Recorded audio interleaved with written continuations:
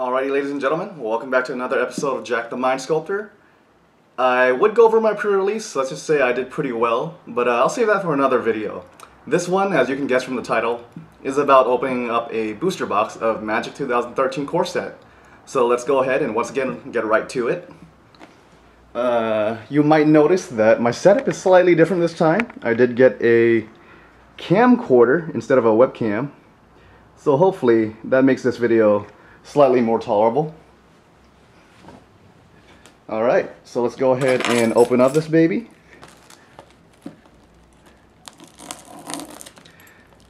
But yeah, so uh, yeah, a lot of things to think about uh, strategy-wise that I'll go over in my pre-release review, I guess. But for now, let's go ahead and enjoy this box opening.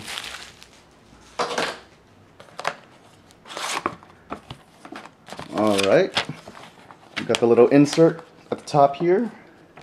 And let's position this box just off to the back. You can still see it's there. And let's go ahead and go over our cards. Alright, first booster box, or booster pack, sorry, with Liliana on it. And we'll get cracking.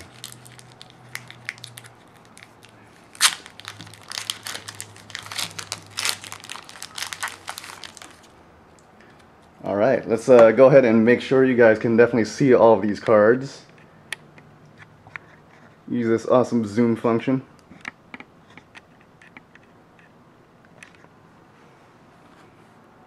Alright, so for this pack, the back is just a swamp, the ad card, and for our first rare of this pack, uh, Dragonskull Summit.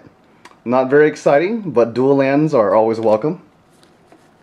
Ooh, we do get a nice Vampire Nighthawk in the uncommon slot. Alright, set that pack aside.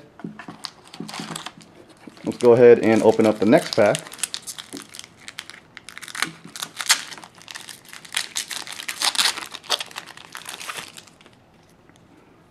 Alright, we've got a trumpet blast in the front.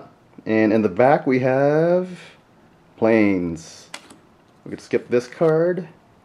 And then for our next rare, Quirion Dryad. Uh, one of the reprints from the set. A decent little body and limited, but not too exciting otherwise. In here are a flash of the uncommons.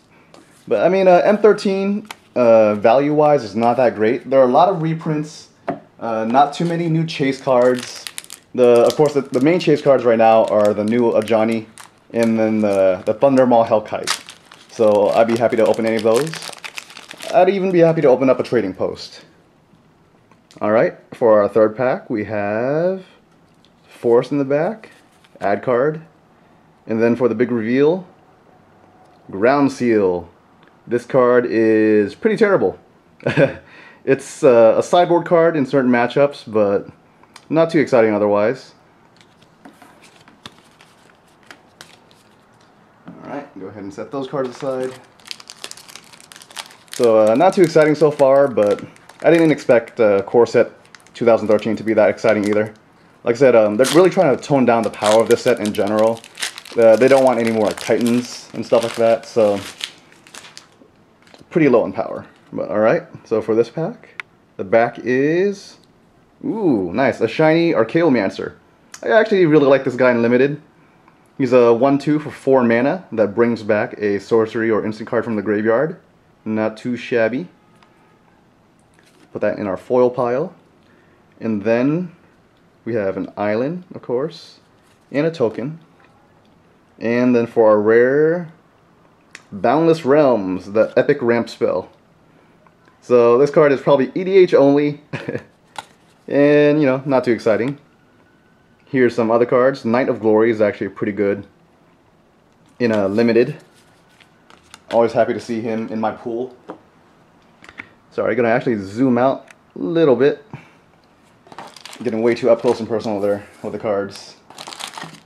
You guys probably want to see like the whole cards anyway. Alright, let's go ahead and open up this next booster. Okay, so Ox in the front and in the back. A foil Phyrexian Hulk. This guy is, you know, a decent 5-4 beater unlimited. But yeah, not something you're looking to pull when opening packs. Alright, and the back card is Cathedral of War. Nice. This is the new land that comes in play tap and taps for colorless mana, but it has Exalted. So uh, yeah, this card was actually pretty awesome and limited. I got it in my pool on Saturday. And actually you might see some uh, constructed play too. So we'll see where that card turns up.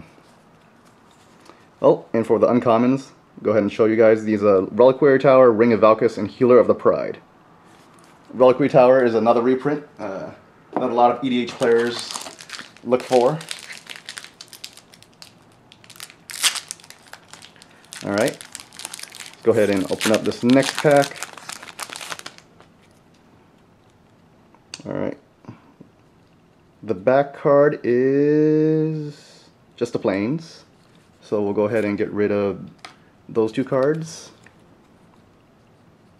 And for the big reveal, Redirect.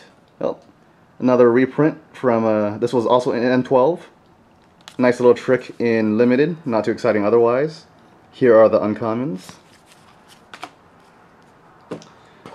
Yeah, nothing very exciting so far. I also didn't open any planeswalkers or anything during my sealed pools, but it's okay. You don't need Planeswalkers to win, though they are very nice in general. Alright, so for this pack, in the back we have just an island. So we'll get rid of the island and the ad card. And then for our rare, we have... Ooh, nice! Vampire Nocturnus. This guy is a reprint, but he is actually a pretty awesome mythic. You know, he's uh, a mono black vampires. Might be a deck, might not, but this is definitely a cool guy. He's actually uh, one of the few mythics worth money, I believe. And let's go ahead and flash you guys the uncommons real quick. Alright, so not too shabby for our first mythic.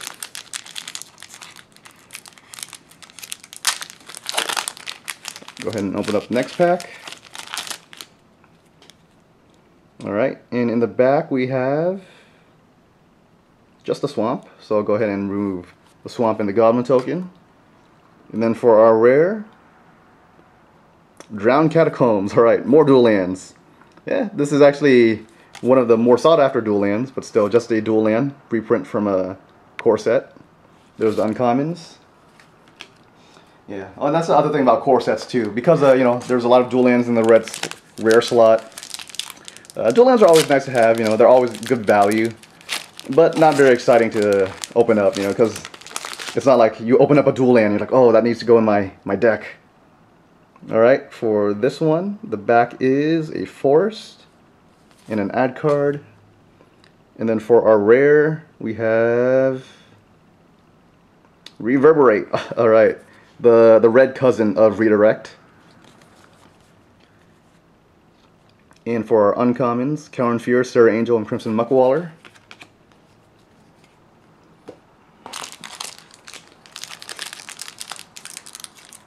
Alright. Still hoping for an Ajani here.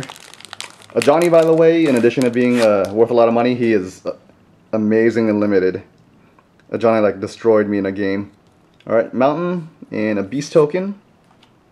And then for the rare we have Gilded Lotus. That's actually not too shabby. This is a great and awesome card for EDH. Um, Gonna lower in price now, now that's reprinted, but this is great for newer players who want to get into EDH. They don't have to spend too much money on it. And then for the uncommons, we got these three.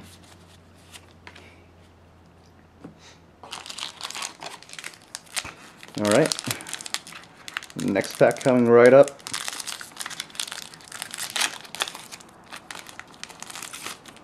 Uh, I'm not the cleanest at tearing open packs. Alright, we've got a Servant of Nefarox here, and in the back, just the planes. Oh, no peeking. Goblin token.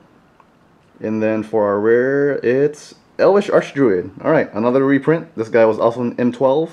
Nice if you're looking to do some like elf decks, of course. Generate a lot of mana.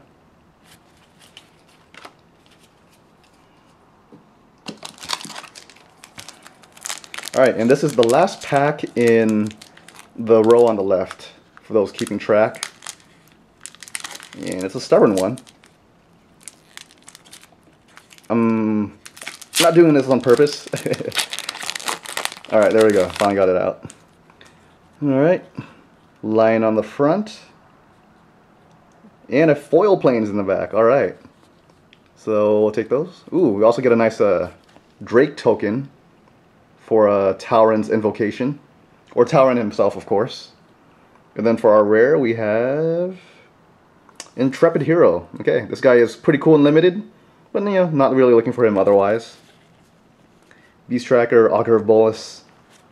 People have also been talking about Augur of Bolas. Think he might see play in a couple of decks. Alright, so this will be our first pack of the middle column of this booster box.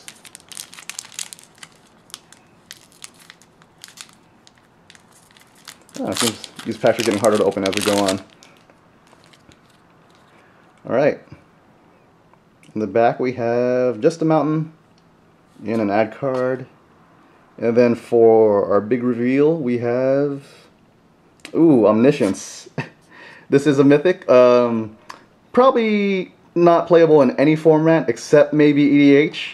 when you put this on the field, you'll be able to cast anything in your hand for free.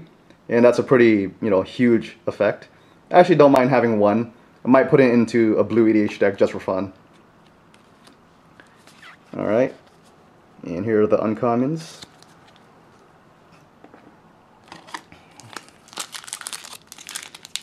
Alright, next up.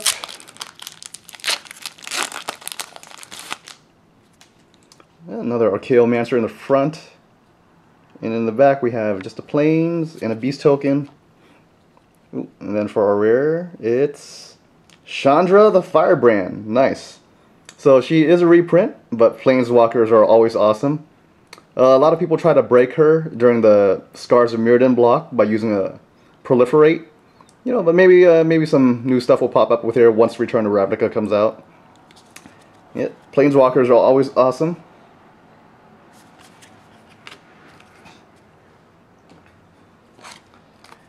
Though, of course, you know, everyone's always searching for the newer Planeswalkers just because new is hot. Reprints, not so hot. Man, more Entrancers in the front. Seems like we have like nothing but Entrancers. Would, would make for a nice uh, mill deck in Limited. We got Planes in the back and Goblin. And for our rare.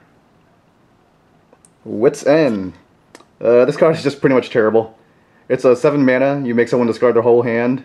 Uh, in like any standard format, 7 mana is way too much, and in EDH, making someone discard their hand is not that fun. So yeah. Alright, got some more cards there. Alright, picture of Liliana on the front. Hopefully she's waiting for me inside too.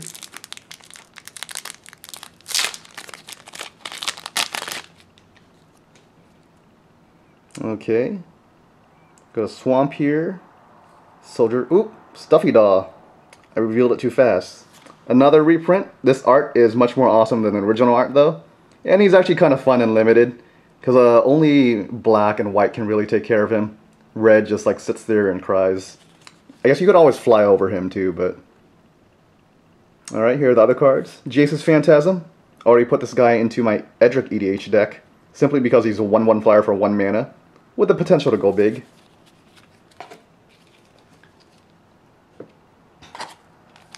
Alright, about halfway through the middle column now.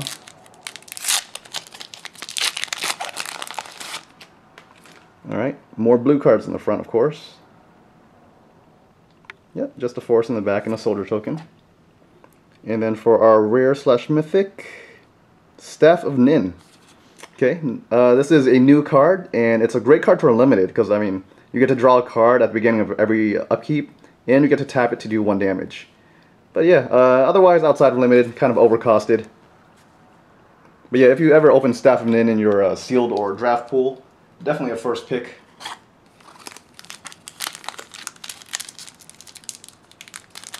Do, do, do, do, do. Open up packs on a Sunday. Alright, non-blue card in the front. Nice.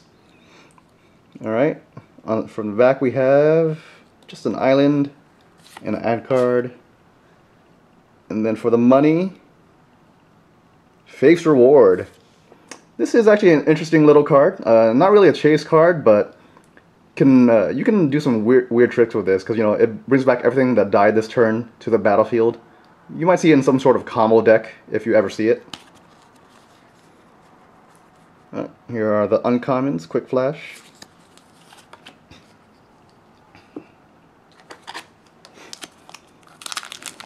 Alright, next pack.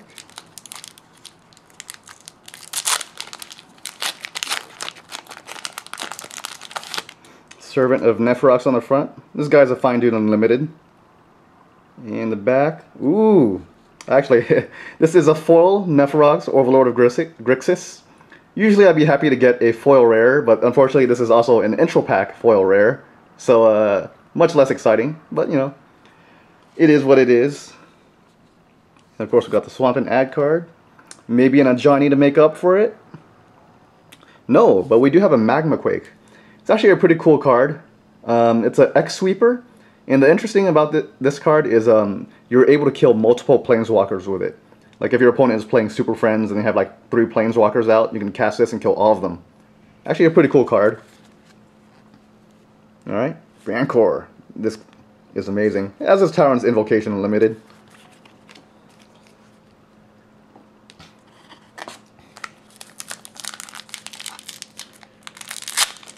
Alright, so yeah, nothing too exciting so far, but as I said, you know, Core Set 2013, low EV, but you know, I opened the box for you guys. okay, we have a foil wild guess. You know, more uh, red card draw that Wizards is trying to push. we got a mountain and an ad card. Oh wait, is this a red rare? It is. It's Fervor. All creatures you control have haste. Eh, fun little card. And here are a flash of the uncommons.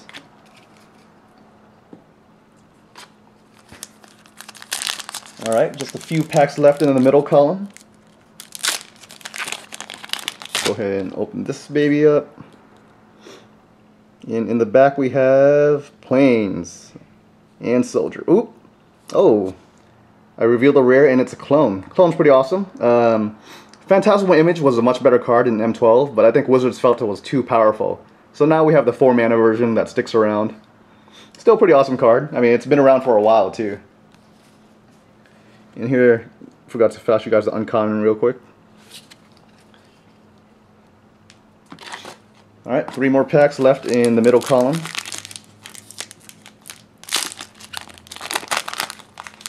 Something spicy. We have Forest, not so spicy.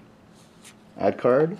And then for our rare, it's gonna be Predatory Rampage. This card is basically the new Overrun, so pretty nice and limited. Probably too overcosted to play outside of that. Here are the uncommons. Alright, on to the next one.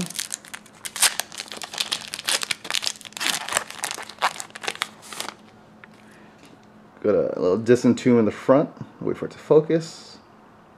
Back card is just Island Ooh, goat token. Goats are awesome.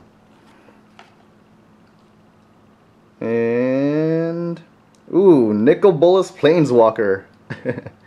so our second Planeswalker of this box. Uh, Nicol Bolas is a reprint, and is actually the only multicolored card in Magic 2013.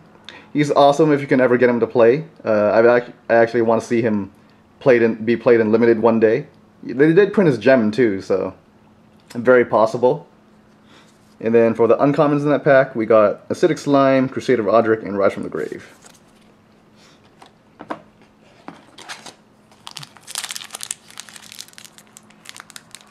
Alright, this is the last pack in the middle column.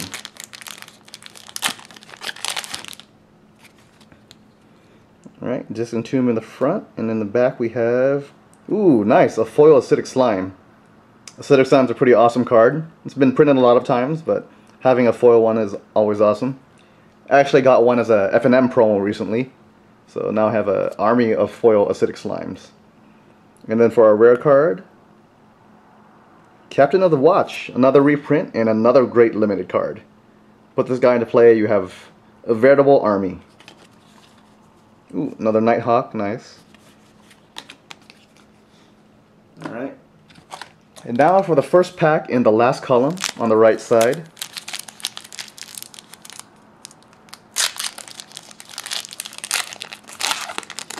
Naturalize in the front. Let's wait for focus.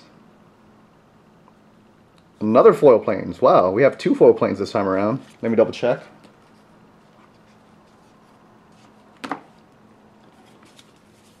Oh no, sorry. I did open up a foil planes in one of the sealed events. And that's probably where I remember it from. So there's the land and add card, and a peek of this card, which is oh, another dual land, a Glacial Fortress. Alright. And here are the uncommons.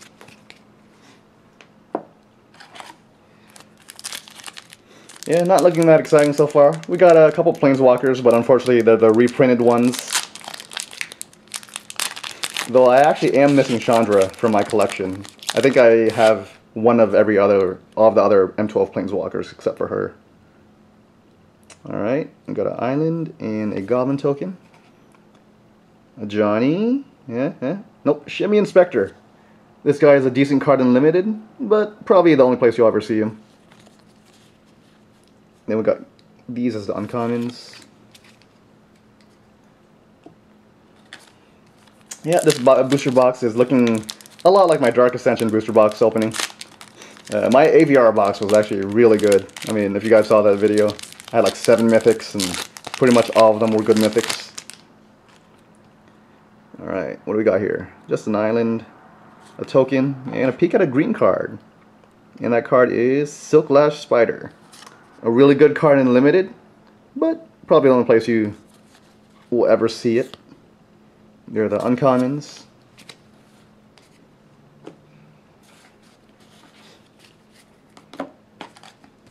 Alright, next pack. I actually really like uh, this booster packaging. It's really slick. I like the like the black look and then just like uh, the artwork peeking out. I think Wizards is trying to go modern. Alright, we got a mount in the back. And for the rare we have Door to Nothingness. I, I want to pull this in limited so I can attempt to play it but probably fail. So it's a fun card for uh, casual players. Wizards does cater to its casual audience. Alright, next up we have this pack. I'm got a Mind Rot in the front. And then in the back, planes, add card. And for our rare, we have dun dun dun Ajani Caller of the Pride. Nice people were opening this guy like left and right at the pre-releases I went to, and now I have my own. Let's dance. He's gonna do a happy dance for you guys. Woo. But yeah, this guy is pretty awesome. I mean, three mana and what's essentially five starting loyalty because you know you're gonna obviously just gonna plus one him right away when he comes to play.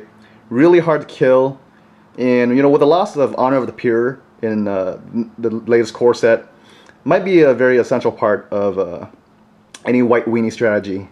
But I'm super stoked. This is like you know, it's the card I was looking for basically. And uh, the new Liliana, of course, but all right. And accompanying are Ajani are a bunch of cards. But yeah, I mean, that basically made the box for me. it's really the only card I super wanted. And so my spirits are much higher now. It's okay. We don't even have to open up anything else. Except maybe foil Ajani? Nope, swamp and another goat. Alright, Unsummon is hiding Stormtide Leviathan. This guy, I got wrecked a game in pre-release with this guy. He put into play and I was playing a green and black and I had like no flyers. So I could only watch as this guy swung in for 8 unblockable every turn. Alright, here are the uncommons. It's okay. We got the Caller of the Pride.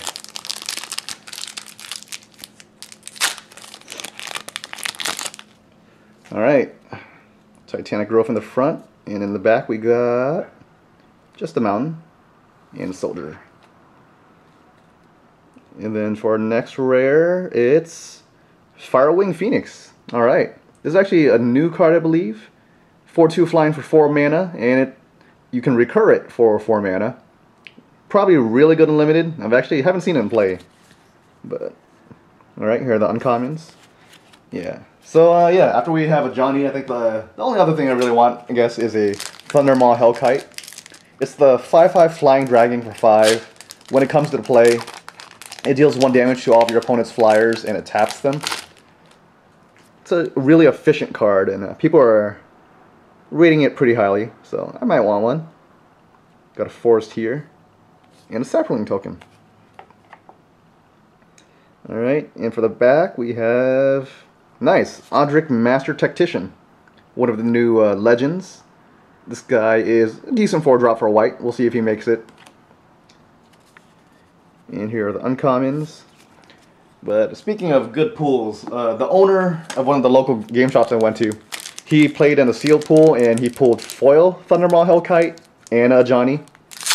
Uh, he's pretty good at magic. Alright, and we have an island. Oh, peeking at this blue card, which is Master of the Pearl Trident. He is the new Merfolk Lord. People are really talking about him because uh, they see him being put into the Merfolk Legacy deck as a, you know, maybe a fifth or sixth Lord of Atlantis. It's pretty nice. So, uh, here are the uncommons.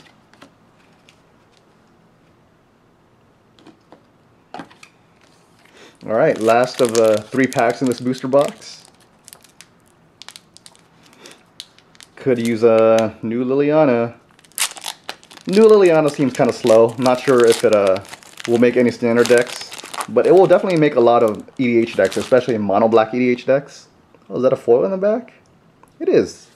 A little foil dragon hatchling. Pretty nice art. Alright, and then we have, of course, plain Saproling. Then for the rare, we have Voidstalker. Pretty interesting because it's uh, it's basically blue removal, which blue doesn't get a lot of. A little bit expensive, but it's also a creature, so kind of want to try out that guy in limited, see how he does. Haven't really seen anyone playing with him.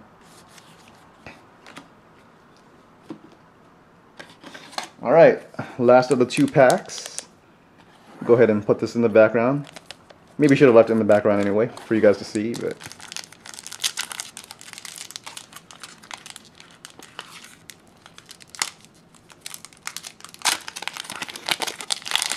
Alright, destroy this pack, of course. In the back we have Swamp and Add card. And for the rare, it's Battle of Wits. Another reprint, uh, nice fun casual card. If you ever see someone walking around with a huge deck, this is probably what they're playing. Alright, those are the uncommons.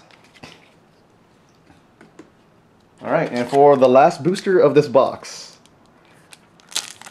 As uh, always, I shall slow roll this. You guys get to watch it from beginning till end. Liliana's Shade, really nice limited card for uh, black players because you get to search up for a swamp. Harbor Serpent, seen many a reprint, but he's a decent 5 body for four, a 6 mana.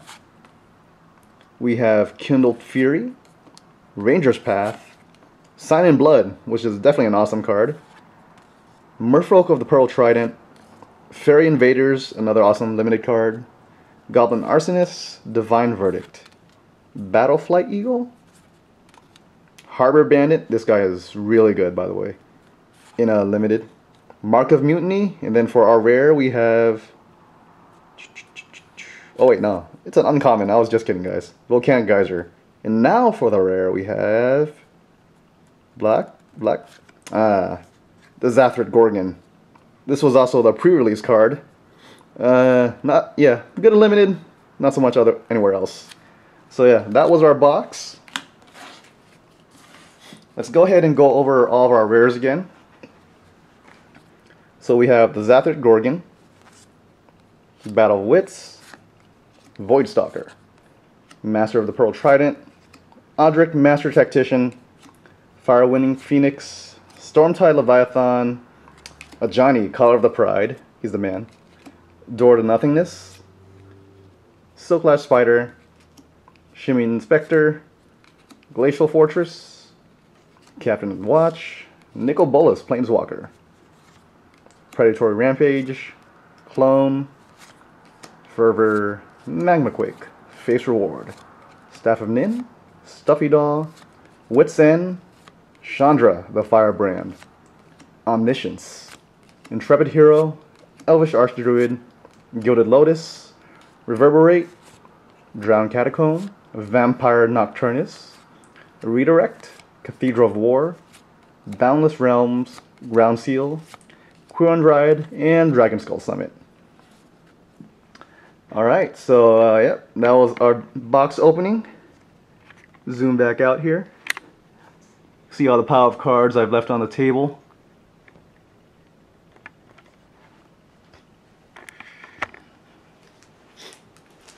Alright, so I hope you guys enjoyed that. Uh, new sets are always super exciting, and I'm pretty excited I got Ajani. And yeah, look forward to my pre-release review video, which should be coming out Monday or Tuesday. And I'll see you guys next time.